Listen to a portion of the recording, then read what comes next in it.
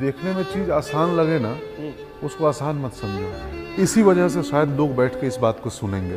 Correct correct बिल्कुल सही तो गेम बातचीत और ज़िंदगी प्रिडिक्टेबल ना होना तभी उसका मज़ा है।